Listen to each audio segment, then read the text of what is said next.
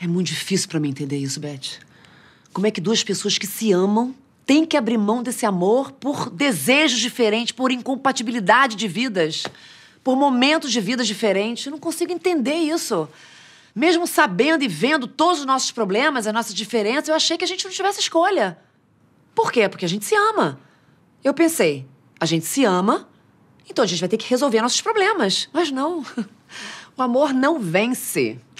Pelo menos não venceu, né? Não, realmente, Caetano é um bem-sucedido. Dono de uma multinacional, sei lá. Eu tenho uma empresa que eu preciso me dedicar, trabalhar. Tenho uma filha de seis anos, alfabetizando, que precisa de mim integralmente. Ele tem filhos grandes, já criados, não precisa mais se preocupar com o filho. Para ele, ele só quer namorar. Ele quer namorar uma pessoa que seja disponível para ele no tempo que ele quer. Ele não quer compromisso, amor. Não quer saber de ser padrasto, não quer ter família. Família ele já fez com o primeiro casamento, tá tudo certo. Ele agora quer namorar, quer festa, quer se divertir. Eu tenho que entender que os opostos não se atraem.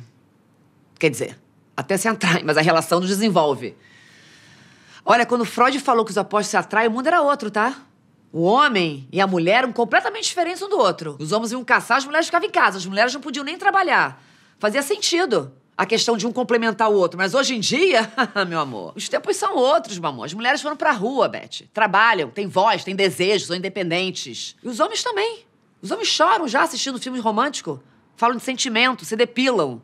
Se Freud fosse vivo hoje, ele provavelmente ia dizer: esquece isso tudo. As pessoas precisam se relacionar com quem se identificam, com quem se tem afinidade, vontades em comum, planos de vida e valores em comum. Tudo que eu e o Caetano não temos, né?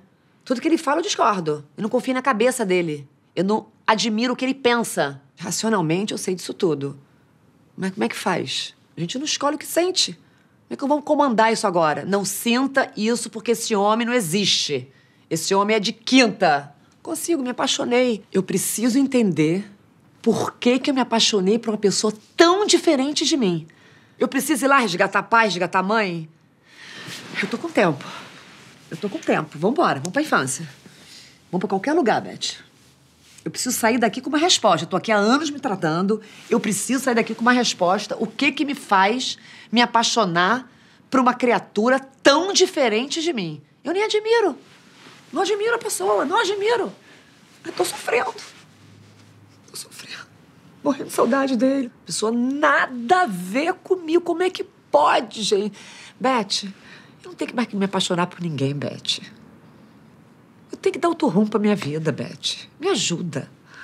O que eu tenho que namorar, gente? Pra que isso? Infernizar a vida da gente. Eu preciso de outros interesses. Entendeu? Eu vou refazer minha vida, Beth. Não vou ficar nessa, não. Só me quis me destruir. Perverso. Canalha. Vale nada. Beth, eu vou embora com que sentimento daqui? Eu vou no ódio. Eu vou em busca de um, uma meditação, de uma respiração. O que, que eu faço para melhorar? Eu tô triste, eu tô sentindo falta de ar de vez em quando. Minha filha tá me vendo triste. Eu quero saber, assim, o que, que eu faço para melhorar de vida? Pelo amor de Deus, me ajuda. A sociedade te cobra. Você tem que ter alguém, você tem que ter um par. Você sofre uma espécie de bullying 24 horas por dia. Os restaurantes não estão acostumados a te receber sozinha. Aí o garçom sempre vai te perguntar: você tá esperando alguém? Claro. Aí você vai dizer: não, tô sozinha. Aí tem sempre aquele sorrisinho assim, ó, constrangido, com pena de você. Sempre aquela tia no Natal vai te perguntar: tá solteira, minha filha? Aí você fala: tô solteira e feliz. Ela, tadinha dessa menina. Acabou, tá nas últimas.